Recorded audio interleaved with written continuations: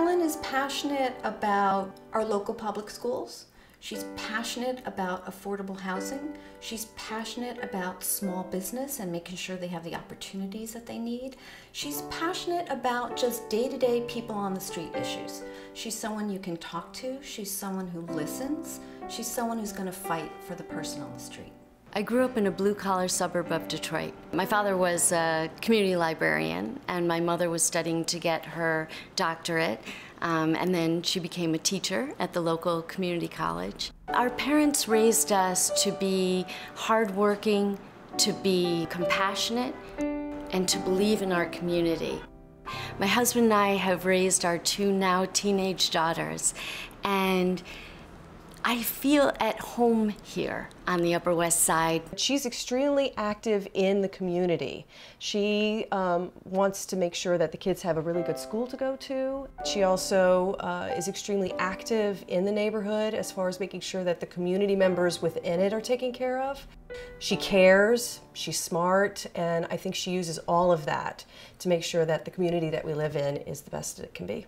Helen is the quintessential Upper West Sider, someone who knows all her neighbors, that makes an effort to reach out and speak to all different types of people. She treasures a diverse community.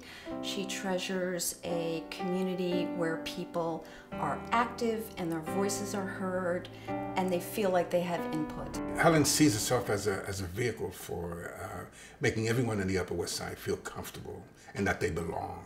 Helen fights for the little people. She fights for people of color. She fights for public education. She fights for affordable housing.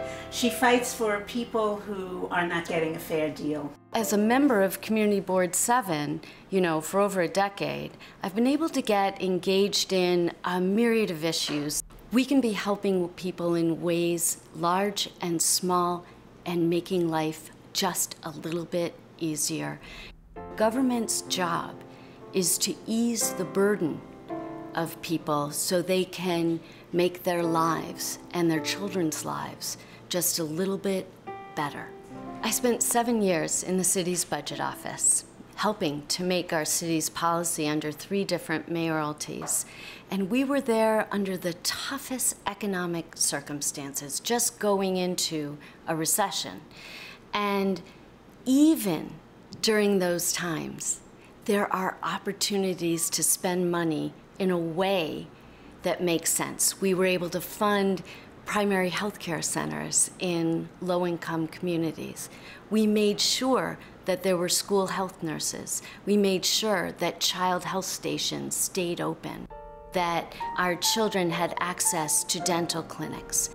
She has that fire, you know, where you believe in something and you're passionate about it and you really want to get it, you want to get a job done. We could depend upon her because she was someone who really always came through for us. And she really is not afraid to speak truth to power. We can count on Helen to fight in the very same way that Ronnie Eldridge, Ruth Messinger, Gale Brewer, we can count on her to live up to that tradition.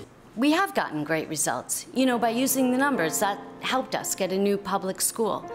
By speaking out and gathering our strength, that helped us save a mom and pop store. By doing a strategic analysis, working with a landlord, that helped us save affordable housing. There are all sorts of ways, but working with people, working together, and being smart about it we can get some really good things done on the Upper West Side.